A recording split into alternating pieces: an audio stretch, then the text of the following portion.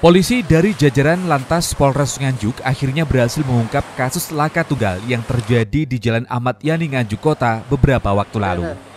Pengemudi mobil diketahui bernama Wiwi Setioningse, 20 tahun, warga Balong, Pacul, Nganjuk Kota.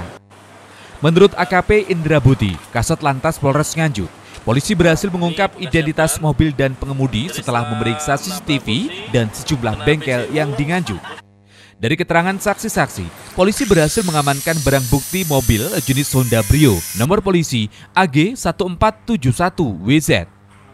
Kronologis laka tunggal tersebut bermula sekitar pukul 5 pagi, mobil dari arah selatan melaju dengan kecepatan 40 km per jam ke arah utara. Mobil oleng ke timur lalu naik ke trotoar dan menabrak dua kursi yang baru dipasang hingga hancur. Dari hasil pemeriksaan sementara, sopir mengaku mengantuk usai pulang kerja dari Kediri. Melakukan langkah-langkah uh, penyelidikan, kami uh, datang ke TKP, kemudian melaksanakan olah TKP, kemudian kita mengumpulkan bukti-bukti yang ada dan saksi-saksi di sekitaran TKP. Uh, kemudian kita mendatangi bengkel-bengkel yang ada di sekitaran Kota Nganjuk.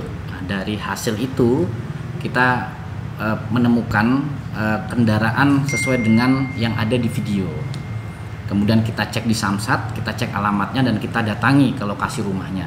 Setelah sampai uh, lokasi rumah, kebetulan kendaraan tersebut ada di rumah tersebut. Kemudian setelah kita tanyakan pemiliknya, yang bersangkutan mengakui bahwa pada hari itu, pada hari Sabtu, tanggal 19 Februari 2022, tepatnya pukul 05.37 dini hari yang bersangkutan mengalami kecelakaan lalu lintas yang menyebabkan kerusakan fasilitas umum di Jalan Ahmad Yani. Pengemudi terancam Undang-Undang Lalu Lintas Pasal 310 Ayat 1 dengan ancaman pidana 3 bulan dan denda 1 juta rupiah. Hingga kini, pengemudi masih menjalani pemeriksaan. Polisi juga mengamankan barang bukti mobil pelaku dan pecahan kursi. Ahmad Sarwani, JTV, Nganjuk.